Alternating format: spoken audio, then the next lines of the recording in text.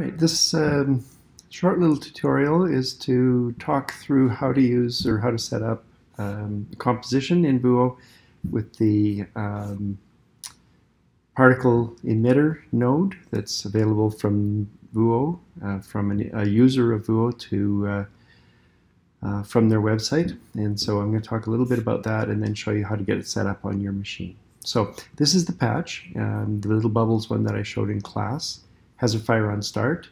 It uh, will go this way first. You're very familiar with this section, which is um, the input, the OSC input from um, on listening on port 7000. So we give it a little uh, bang at the start, say listen to port 7000, receiving the messages from NIMate, uh, going to the, the filter uh, skeleton, coming out uh, for this one on the right hand, and going to the base position of uh, the particle emitter.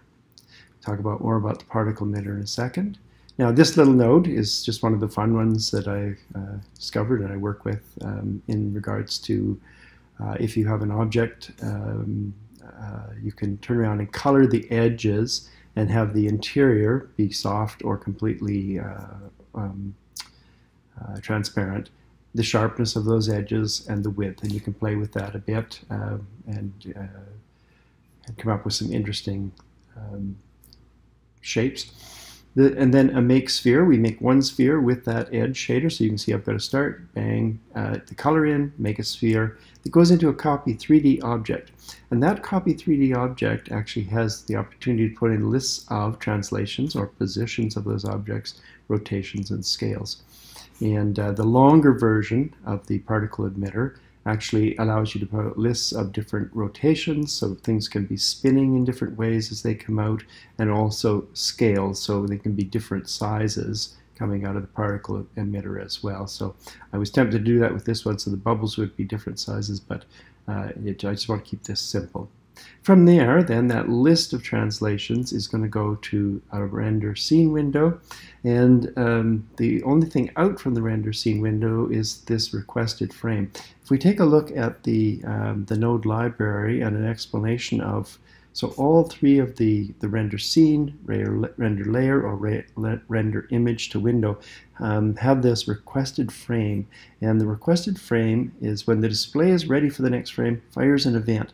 So you get this firing event timed with the frame refreshing, and therefore you can use it to drive things, uh, video events um, like uh, this particle emitter.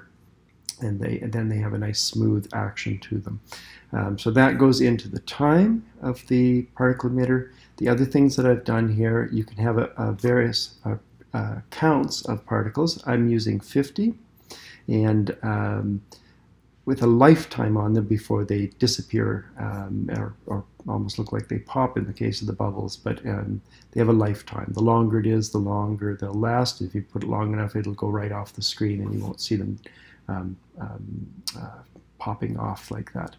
Uh, and then the base position, which we could control from right, with our right hand, a reset if we wanted to, a maximum velocity and a minimum velocity. So here on the X, I've got going um, uh, like a little bit positive 0.1, a little bit negative 0.1, so a little bit coming out from side to side. Uh, and, and, going up, everything's going up from be between 0.1 and 0.2, and then a little bit front and back on the um, on the z-axis from 0.2 to minus 0.2. Um, I can't really get a lot of effect out of these velocity ones, so I'm not going to worry about that right now. Um, the gravity acceleration, I've got a negative gravity. In other words, they're, they're slowly floating up, and when I get it running here, I'll show you that you can um, make it pull down to the ground or whatever quite quickly. Um, now, let's take a look at how to get this into your VUO because it does not come packaged with it, and uh, none of the none of the ones that are built by users uh, nodes come packaged with it, but you can find them on the Vuo site, VUO site. So if we go to VUO, uh, go to Community, Node Gallery, then we'll scroll down till we get to um, the particle emitter, uh, which is uh, made by VJ Satoshi, and uh, we'll just download um, his uh, zipped package.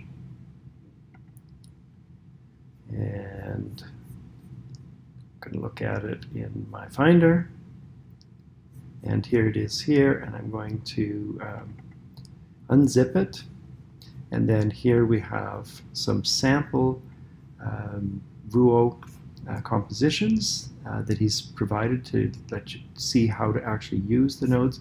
And then the nodes themselves are here. There's only three. He's, he's got a list.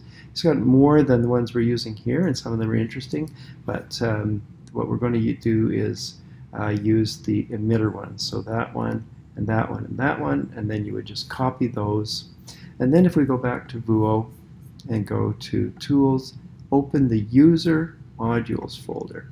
And um, then in the user modules folder, you would paste them into this folder, restart Vuo, don't forget to restart once you do, uh, and then open up one of his, um, his um, Vuo compositions, then it would run for you. So I'm just going to show you one thing because he's got um, he's got a, bit of a problem in his compositions in that he, used one of his nodes that actually doesn't work very well. Um, so if we if we take a look at, say, for example, this one that he's created using three of his long emitters, so it's a bit of a complex um, composition that he's done. I'm going to just zoom in on this node here so you can see what it looks like. So Windows allow you to give them properties such as uh, width and height, pixel width, and so on. This um, node of his does not work. And in fact, when you go to run it, it will just, the window doesn't open at all, or if it does, it's some weird little shape. So you can just delete that node. It does, it's not necessary, necessary for it to run. And then you can run these, um, emitter one right there. And this one has the collision turned on, so the balls uh, bounce onto the floor. Um, and uh, like I was talking about in class, it's got like a, a fake floor that you can bounce things around on thing that I should have said, uh, actually, I led you a little bit astray. You should probably download all, um, copy all of these um, nodes and put them into your user folder um, because um, some of his um, compositions that he's using here are using other of his nodes that he's built. If you go to run them, it'll say that it doesn't exist in your folder. So do them all. Um, just be careful, as I said, that this one here make window property. Don't use it in other compositions yours. It does not work. And uh, drove me crazy for offering it up. Um, Vuo itself has their own window property ones where you can set window sizes and things like that. So just stay away from uh, um, just stay away from um, VJ uh, Satoshi's version of the window property. Okay, and then just returning back uh, quickly to Vuo and uh, I've been having a bit of a problem where the screen goes dimmer when I start this, but I just wanted to do see if I could get a brief little demonstration in on uh, the particle emitter. And uh, I'm just going to take this down in size a bit so we can look here. And the only thing I wanted to show you was the, uh, the, um, the acceleration here. If I put it positive, it's immediately going to fall to the ground.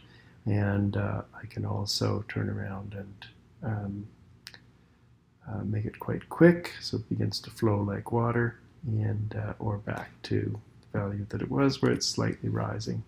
And this velocity thing, I can also send them out. Um, so if I went like going like that, it'll shoot them out that way and uh, so on. So if I wanted to have an object where it was shooting out to the sides, I could do that um, like that.